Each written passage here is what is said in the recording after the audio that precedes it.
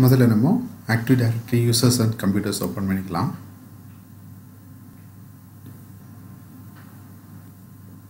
இப்போ நம்ம டிசேபிள் யூசர்ஸ்க்கு ஒரு ஃபோல்டர் க்ரியேட் பண்ணுறதுக்கு டொமைனில் ரைட் கிளிக் பண்ணி நியூ போய் ஆர்கனைசேஷனல் யூனிட் போய் டிசேபிள்ட் யூசர்ஸ் அப்படின்னு நேம் கொடுத்துக்கலாம். இது நமக்கு ஆர்கனைஸாக வைக்கிறதுக்கு ஹெல்ப் பண்ணும் நமக்கு.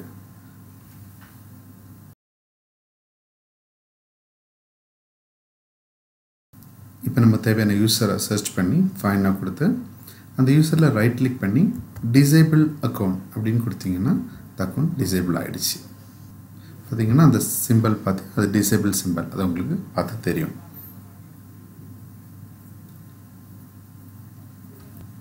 இப்போ அந்த டிசேபிள் பண்ண யூஸரை டிசேபிள் யூசர்ஸுக்குள்ளே மூவ் பண்ணிக்கலாம். இப்போ நமக்கு ஐடென்டிஃபை பண்ணுறதுக்கு ஈஸியாக இருக்கும் டிசேபிள்ட் அக்கௌண்ட்டை அந்த அக்கௌண்ட் டிசேபிள் ஆயிருக்கான்னு பார்க்குறதுக்கு இன்னொரு ஆப்ஷன் வியூ போய் அட்வான்ஸ் ஃபீச்சர்ஸ் கிளிக் பண்ணிக்கோங்க. இப்போ டிசேபிள் யூசர்ஸ் போய் அந்த யூசர் ப்ராப்பர்ட்டிஸ் ஓப்பன் பண்ணி ஆப்ஜெக்ட் செலக்ட் பண்ணிங்கன்னா பார்த்தீங்கன்னா டிசேபிள் யூசர்ஸ் அது பார்க்க முடியும். இப்போ நம்ம அது அட்வான்ஸ் ஃபீச்சர்ஸ் எடுத்து விட்டுடலாம்.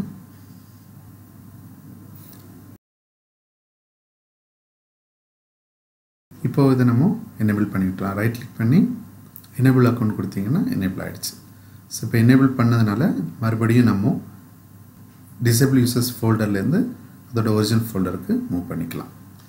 அவ்வளோதாங்க தேங்க்யூ ஃப்ரெண்ட்ஸ் உங்களுக்கு இந்த வீடியோ பிடிச்சிருந்துன்னா லைக் பண்ணுங்கள் அப்புறம் தொடர்ந்து புதிய புதிய அப்டேட்ஸ் பார்க்குறதுக்காகவும் எங்களை சப்போர்ட் பண்ணுறதுக்காகவும் எங்கள் சேனலை சப்ஸ்கிரைப் பண்ணுங்கள் தேங்க்யூ